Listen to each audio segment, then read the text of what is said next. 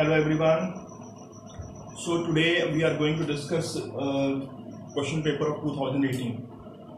Today we have to start the new chapter, but uh, today I am not starting the new chapter. Uh, I because I want to check कि तुम तुम लोगों ने जितना किया है कि उसमें से how many what is the weightage of that.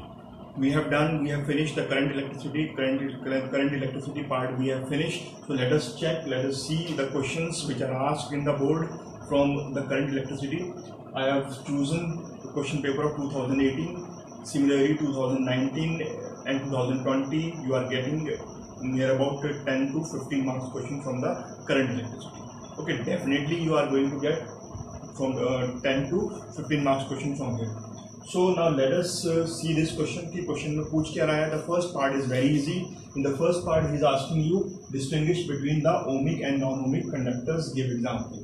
Is asking you okay you have to differentiate between ohmic and non-ohmic conductors by giving an examples तुम लोगों ने example देना है you have to give an example and then you have to uh, explain you have to distinguish between ohmic and non-ohmic conductors so that means in this question nobody have any difficulty so what are the ohmic conductors ohmic conductors are those conductors which follows the ohm's law and non-ohmic conductors are the conductors which do not follow the Ohm's law. And what is Ohm's law? According to the Ohm's law, the potential difference or we can say the current is directly proportional to current is directly proportional to current is directly proportional to potential difference means that when we increase the voltage the current is increased accordingly when we decrease the voltage the current decreases accordingly if the conductor is ohmic conductor, then the graph for that conductor will be the straight line slanting on the x-axis. If it is not the ohmic conductor, it does not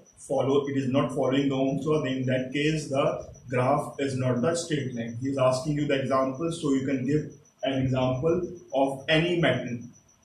Okay, because all the metals under and when the physical conditions are kept constant, they follows the Ohm's law. So you can give any example, you can say copper and then draw the graph for that.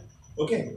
Uh, and you can also, uh, in the non-ohmic part, you can give example of any semiconductor, we can say, कोई भी semiconductor ले लो, Okay. Or you can, हाँ yes you can of course you can take the semiconductors का कोई ले लो या फिर you can take any non matrix so it is of three marks so if you write this much so you are getting three marks for this question three marks पूरे के पूरे मिल जाएँगे two marks for the distinguish between and one marks is for giving the example simply you have to write the name of the metal and one non-metal metal and one non-metal have one metal or one semiconductor then in the second part three cells each of EMF E you are having you are having three cells each of EMF E means the voltage of each cell is E and the internal resistances are the internal resistance of the cell is R and the EMF of each cell is E. What we have done, we have connected them in parallel. So he is asking you find the current flowing in the in the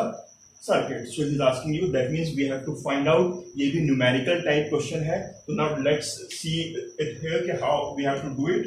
First of all, just make the circuit. Say suppose this is the cell one, its internal resistance this is cell 2 it is its internal resistance then this is cell 3 its internal resistance so it is r it is r it is r it is e it is e and it is e so what does he is asking you he is asking you the value of current flowing in the circuit so इस circuit में कितना current flow हो रहा है तो that value we have to calculate उस value को calculate करना है। So this is the circuit diagram so now from the circuit diagram we have to calculate the value of I so if you remember the basic formula और I can say the basic law basic law क्या है तुम्हारा?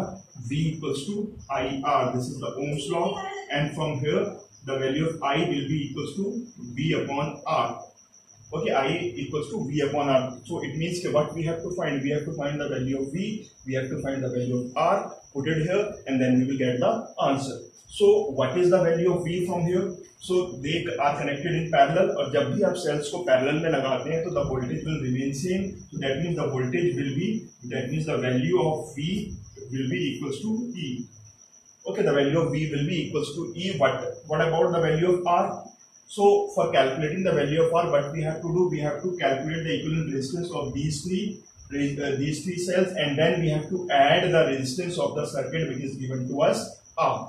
Okay circuit का resistance कितना दिया है उसने R दिया है सेल का रेजिस्टेंस कितना दिया है R small R small R and small R so we have finded the voltage मैंने निकाल दी है now I am finding the value of resistance so the value of resistance will be say I am writing 1 upon they are all in parallel so 1 upon rp I am writing 1 upon rp equals to 1 upon r plus 1 upon r plus 1 upon r on solving this I get 3 upon r. So that means the value of rp will be equals to r by 3 so this is the value of rp so now total resistance so total resistance will be what what is uh, total resistance what about the total resistance? The total resistance will be how much? It will be r plus small r this uh, r by 3 plus capital r means that we have to add the resistance of the circuit so it means say total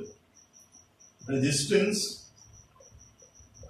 total resistance equals to how much r by 3 and plus r so this is the total resistance now what we have to do we have we have to simply put that value because we want to calculate the value of current so us value ko mujhe yahan pe put up karna hai so uh, i equals to how much i equals to e upon how much r by 3 plus R इसको थोड़ा सा solve करके आप दिखा दोगे this three goes up तो it will become three E upon R plus three R so this is the value of current which we will get from the from that circuit which I have drawn.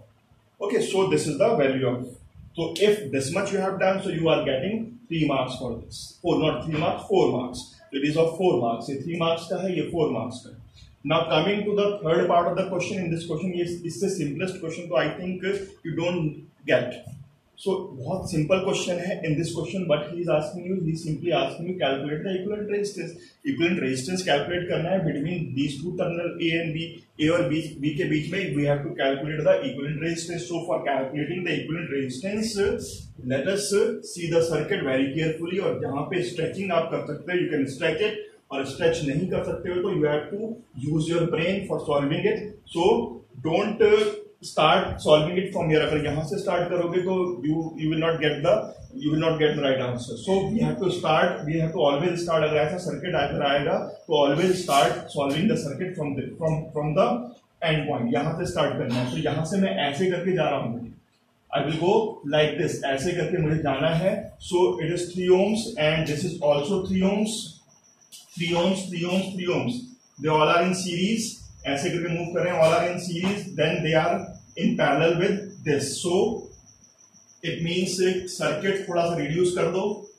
So it will be now it will be like this इसको series में add किया तो ये nine हो गया। So I am writing nine here and they are in parallel with this three ohms and then this is three ohms and then this is three ohms ये this is point A and this is point B.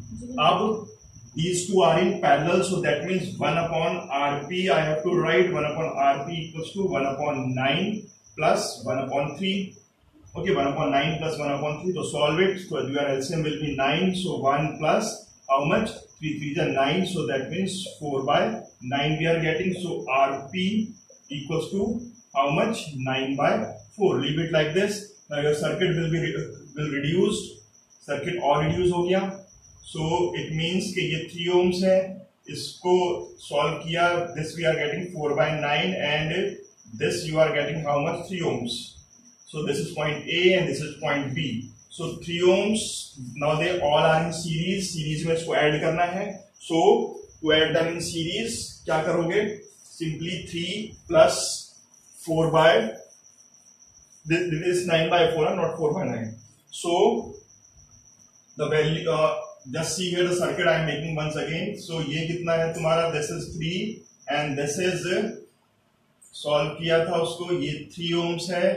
ये three ohms है। This is how much it is nine by four it is nine by four and this is three ohms so three right here are equals to three plus nine by four and plus 3. To solve it now, where LCM will be 4, so 3 plus not 3, 12 plus 9 plus 12. So on solving this, you are getting 30 uh, 24, 24, 25, 26, 27, 28, 29, 30, 31, 32, 33. We are getting 33 upon 4. जब solve करोगे इसको तो we are getting 8.25 ohm. So this is your answer. Similarly, in uh, we have to solve uh, questions uh, related to current electricity from 2019 also and 2017 also. If you don't have a paper, I will send you the questions from there. Okay? But uh, please do it. See the videos and regularly do your homework send your send your work send your problems. You are not sending me the problem. It means that you are not watching the videos. Na to videos dekh rahe ho tum okay और ना ही you are you are doing the your homework okay send your problem जब problems आएँगी then it means के that means के you are studying now so for today only this much thank you very much